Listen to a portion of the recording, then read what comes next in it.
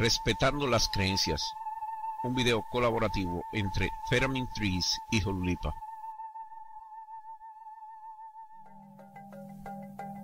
Le dice el creyente al ateo, irás al infierno.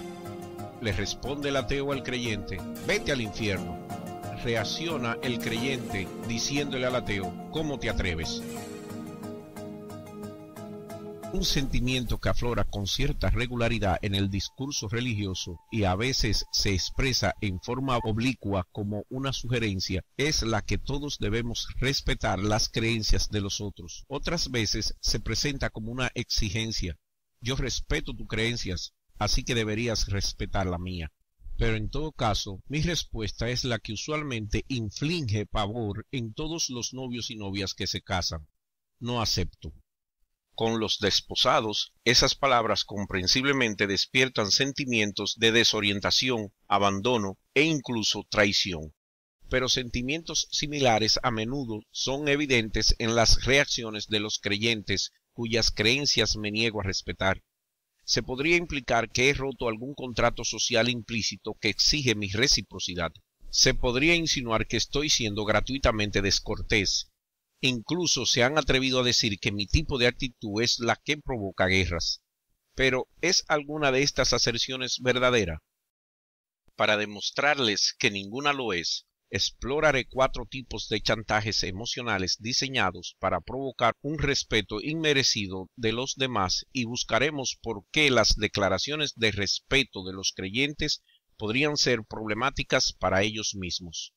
Luego expondré por qué yo no respeto creencias, explicando por qué las creencias religiosas, lejos de merecer una inmunidad privilegiada, son las más merecedoras del escrutinio y la crítica, y hacerle frente a la defensa desesperada ofrecida a menudo que, aunque sea falsa, la religión debe dejarse sola porque realiza una función social positiva. Extorsionando respeto. Una de las cosas en que el ateo humorista y crítico H. L. Mencken se equivocó fue su afirmación de que debemos respetar la religión del vecino, pero solo en el sentido y en la medida en que respetemos su teoría de que su esposa es hermosa y sus hijos son inteligentes. No tenemos que respetar la religión del vecino en absoluto. Mencken enturbia las aguas al mezclar elementos de muy distintas categorías. La teoría de que su esposa es hermosa es un juicio estético. Aun si modifica el juicio para que suene como una afirmación de verdad, es decir, es bella, usted y yo lo sabemos, ¿no? Que en realidad significa es hermosa para mí, no tengo ninguna razón para responder a esta declaración. La misma no me implica en forma alguna. Ahora, si usted se va más allá y dice es bella, ¿no crees? En cuyo caso debe prepararse para recibir mi respuesta honesta. La religión, por el contrario, está en el negocio de la afirmación de hechos relacionados con la existencia, y eso sí me implica irremediablemente y requiere de mi respuesta. Si tus razones para establecer estos hechos resisten el escrutinio, entonces debo repensar mis conclusiones. Pero si esas razones se basan en argumentos falaces y fenómenos sin fundamento, no tengo por qué hacerles caso. Curiosamente, reflexionando en la manera en que juicios estéticos son presentados como verdad, las declaraciones de verdad hechas por la religión con frecuencia son expresadas como juicios estéticos. A menudo escuchamos decir que Dios es real para mí. En muchos casos esto es simplemente para prevenir cualquier posible desafío y esto se traduce en Él es real para mí, no importa lo que digas. En otros casos, estas afirmaciones de realidad extrañamente personalizadas ofrecen un pacto implícito. Si me dejas expresar sin oponerte mis pretensiones de verdad, yo dejaré que hagas las tuyas sin oponerme. Este comportamiento intenta establecer un interés simpatético entre las partes. Dice algo parecido a Hey, mira, ambos podemos salir ganadores de esto si nos ponemos de acuerdo y miramos para el otro lado mientras hacemos algo muy malo epistemológicamente hablando.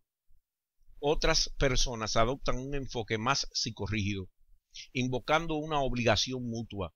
En este caso el mensaje es, mira, estoy dispuesto a dejarte hacer tus reclamos de verdad sin oponerme, así que deberías dejarme hacer los míos. Pero no se puede regatear con la realidad de esta manera. La Tierra no es un disco plano para ti y un globo para mí, solo porque hagamos un pacto. Si afirmas que cualquier Dios existe, entonces estás haciendo una aclamación de verdad de la que yo soy parte, y es tu responsabilidad probar su veracidad. Algunas personas no tienen tanta delicadeza a la hora de proclamar la verdad universal de su religión y adoptar un enfoque abiertamente amenazante y violento para inspirar temor entre los críticos, especialmente críticos satíricos. La necesidad de ser capaz de someter las creencias al ridículo no es trivial, es muy importante y se vuelve más evidente cuanto mayor sea el poder e influencia de los involucrados. Cuando una persona o grupo asume una posición de poder, su reacción al ridículo puede decirnos mucho sobre su solidez y su humanidad. Por esta razón es que podemos esperar recibir una variedad de respuestas que van desde la diversión hasta la ira.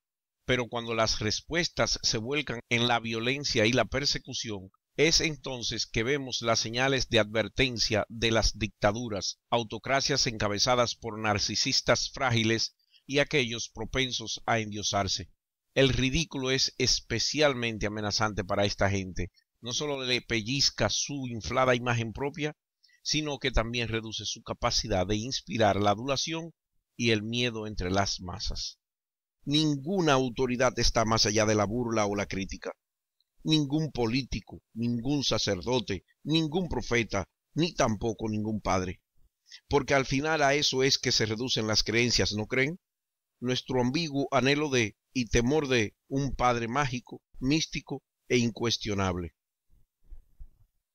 Cuando éramos niños, nuestros padres o tutores eran nuestros protectores y lo que nos castigaban también, y esto inspiró dos respuestas irreconciliables en nosotros, amor y miedo.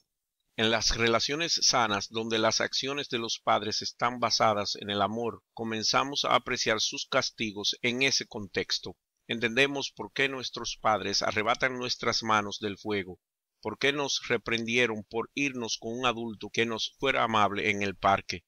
En consecuencia, la respuesta al miedo se resuelve y se aleja, pero en relaciones malsanas, donde las acciones de los padres se basan en el poder, llevando a castigos erráticos, exagerados y manifiestamente injustos, el miedo nos ayuda a soportar, a veces a expensa del amor, y seguimos infantilizados, asustados de nunca desafiar la autoridad corrupta. ¿En qué punta del espectro pondría usted a un padre que amenaza con quemar a sus niños por negarse a adorarle?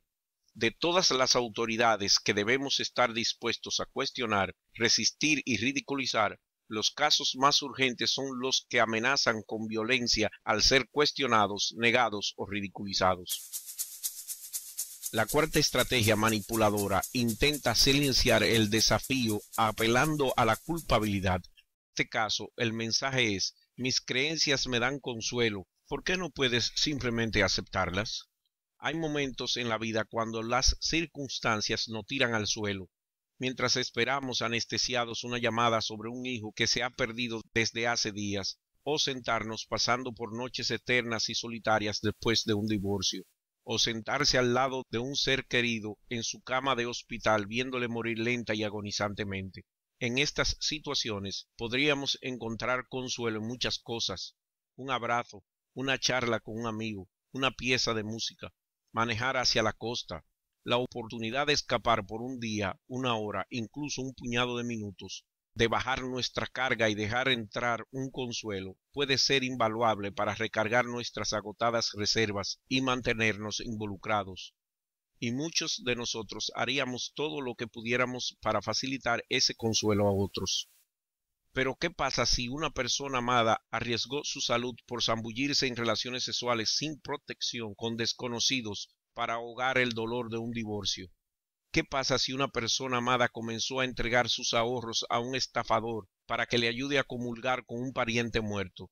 ¿Seríamos tan rápidos en aprobar estos consuelos? ¿Y qué de las repercusiones que estas acciones tienen en otros? Si los padres toman consuelo en fantasías de un más allá para evitar tener que lidiar con la muerte, ¿qué les enseña esto a sus hijos? ¿Podrán ellos enfrentar la muerte honestamente o se verán forzados a confabularse con esta fase de negación de sus padres. Sin estas fantasías de un más allá, les sería fácil a los padres negar a sus hijos tratamientos médicos salvavidas por motivos religiosos. ¿Qué sería de esos terroristas suicidas que anticipan una recompensa gloriosa digna de un mártir por sus acciones? Las fantasías del más allá no son inofensivas o neutrales, son multivalentes, susceptibles a una amplia variedad de aplicaciones. El deseo de consuelo puede conducir a comportamientos destructivos y mortales, así como los estados de negación perpetua que con frecuencia se imponen a los demás. Es por eso que no veo el consuelo como algo que debe ser automáticamente preferido o entregado, y porque es a menudo más humanitario desafiar el consuelo que promoverlo. Sentimientos de miedo, obligación, culpa y compasión nos pueden ayudar en algunos escenarios, el miedo nos puede ayudar a escapar de situaciones peligrosas y la obligación puede ayudar a fortalecer los contratos sociales legítimos. Pero cuando la gente intenta jugar con estos sentimientos para hacernos cumplir con demandas irrazonables y egoístas, entonces a eso se le llama chantaje emocional y debemos dejar bien claro que eso no es una conducta aceptable. Invalidando el respeto. Cabe destacar que cuando la gente me dice que respetan mi creencia, un poco de escrutinio a menudo revela problemas con esa afirmación. Con los cristianos tengo que ponerles claro que este profeso respeto entra en conflicto directamente con su Biblia. Primero consideremos la vida terrenal. En el ensangrentado Antiguo Testamento de la Biblia, en Deuteronomio capítulo 13, establece el castigo del Dios cristiano Yahvé por adorar a otros dioses. La espada y la piedra. Aunque menos saturado con sadismo, el Nuevo Testamento de la Biblia, que introduce el Mesías cristiano, Jesucristo, mantiene su adversión por los no cristianos. En el capítulo 1, segundo de Juan, versículos 9 y 12, los cristianos son claramente instruidos de no recibir a los no cristianos en sus casas. Incluso si los saludan, los cristianos al parecer estarían tomando parte en sus obras malvadas. Cuando miramos lo que pasa después de la muerte, en el más allá cristiano, es cuando los cristianos se quitan los guantes completamente. Si no crees en el Mesías, estás condenado a un castigo ardiente y eterno. Les he presentado a los cristianos que dicen que respetan las creencias de los no cristianos, que ellos no pueden conciliar su profesado respeto con esta clase de pasajes bíblicos. Las creencias por las que su Dios prescribe ejecución rechazo social y en última instancia la tortura eterna no puede ser respetable. Con los musulmanes se presentan los mismos problemas. Para ellos yo estaría considerado como un ignorante culpable y por lo tanto destinado al fuego del infierno perpetuo. No me malinterpreten, no pido que respeten mis creencias. En un momento les explicaré por qué las creencias no merecen respeto pero los animo a pensar seriamente sobre estos pasajes bíblicos, porque cuando tu religión te dice que lo que no son miembros de tu grupo merecen la ejecución, el rechazo social y la tortura eterna, no estamos hablando de faltar el respeto a las creencias, hablamos de deshumanizar a la gente. Más adelante estaré analizando las evasiones que ofrecen algunas personas cuando estos conceptos les afectan. rechazando el respeto. Cada creencia que es introducida en el espacio público debe de estar abierta a la crítica. Si tomamos su validez como incuestionables, entonces nos veremos obligados a rechazar información válida que entra en conflicto con esta creencia. La necesidad de ser capaz de criticar las creencias se hace más necesaria a medida que el alcance de esas creencias aumenta.